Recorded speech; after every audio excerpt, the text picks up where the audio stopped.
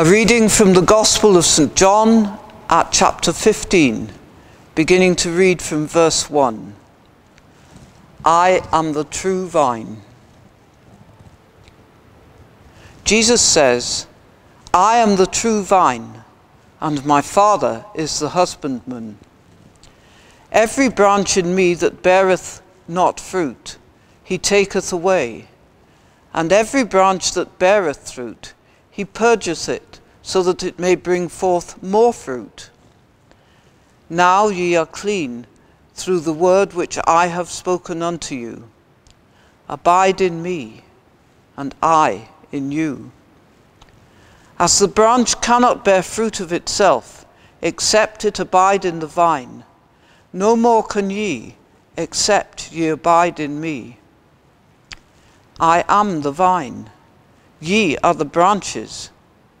He that abideth in me, and I in him, the same bringeth forth much fruit. For without me ye can do nothing. If a man abide not in me, he is cast forth as a branch, and is withered, and men gather them and cast them into the fire, and they are burned. If ye abide in me, and my words abide in you, ye shall ask what ye will, and it shall be done unto you. Herein is my Father glorified, that ye bear much fruit. So shall ye be my disciples. As the Father hath loved me, so have I loved you. Continue ye in my love. If ye keep my commandments, ye shall abide in my love, even as I have kept my Father's commandments, and abide in his love. These things have I spoken unto you, that my joy might be, remain in you, and that your joy might be full.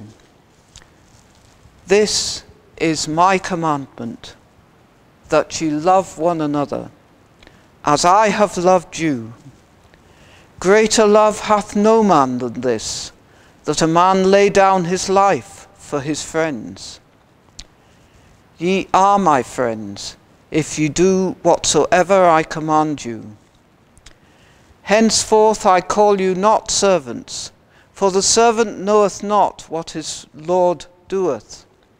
But I have called you friends, for all things that I have heard of my Father I have made known unto you. Ye have not chosen me, but I have chosen you and ordained you that ye should go and bring forth fruit, and that your fruit should remain, that whatsoever you ask of the Father in my name, he may give it to you. These things I command you, that you love one another. Let us pray. Loving Father, Jesus himself tells us that the most important thing is to love one another. Sometimes we find it very hard to love people we do not particularly like, as well as people we do not know. Inspire us, we pray, to keep this command in all our dealings. This we ask in Jesus' name. Amen.